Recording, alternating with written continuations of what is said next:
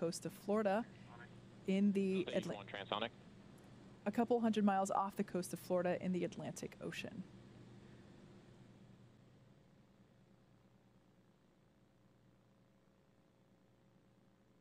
Everything continuing to look good with the second stage and our Starlink satellites. Also signal stage one.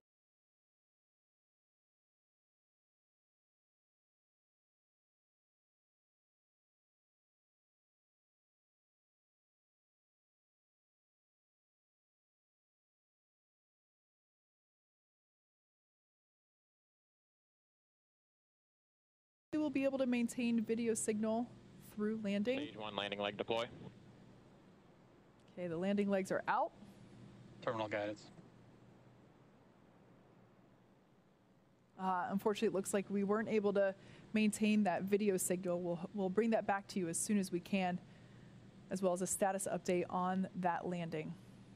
Everything continues to look good. Stage two FTS is safed.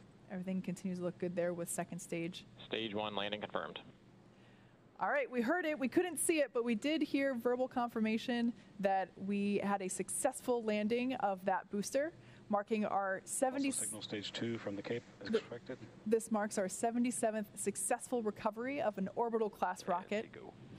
and the ninth landing of this particular booster.